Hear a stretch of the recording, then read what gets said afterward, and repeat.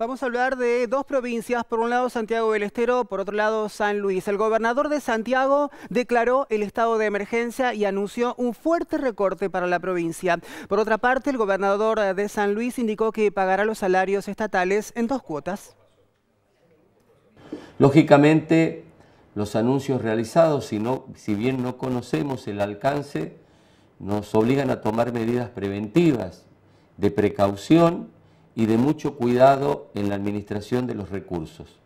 Por eso estoy enviando esta próxima semana el DNU que voy a firmar, donde vamos a declarar la emergencia económica y medidas restrictivas y de control del gasto público. Lamentablemente, con mucha angustia, con mucho dolor y con mucha bronca, por primera vez en 40 años, no podremos pagar el 100% del sueldo de diciembre a fin de mes, ni el 100% del sueldo de enero a fin de ese mes.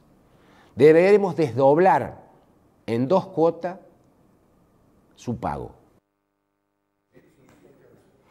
Frente a este panorama provincial, regional y nacional, Raúl de la Torre, buenas tardes. ¿Qué tal? ¿Cómo te va, Horacio? Hay una situación que por lo menos otras nueve provincias están considerando si toman una resolución similar, es decir, declararse en emergencia económica y financiera y tomar medidas al respecto, pero por lo pronto están tomando recaudos porque la situación eh, evidentemente está afectando a todo el país eh, y en una medida importante.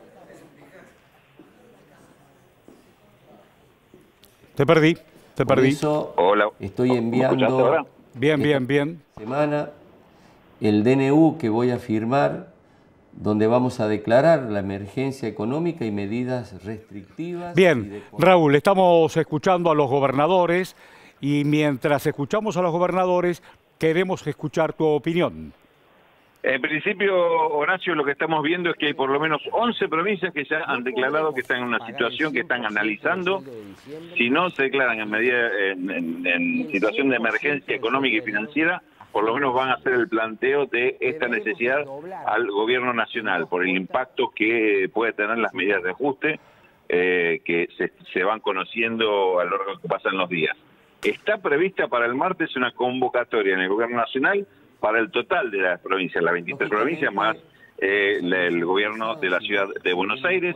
Esto está en cabeza del ministro del Interior, Guillermo Francos. Esto sería, repito, el martes próximo en Casa Rosada. No se descarta, tampoco está confirmada la presencia de Javier Milei en esta, en esta reunión, pero evidentemente ahí hay cuestiones que el gobierno nacional deberá explicar y las provincias eh, reclamarán con respecto al impacto que van a tener en sus respectivas economías las medidas que hasta ahora se han anunciado de este plan de ajuste presentado por el ministro Luis Caputo.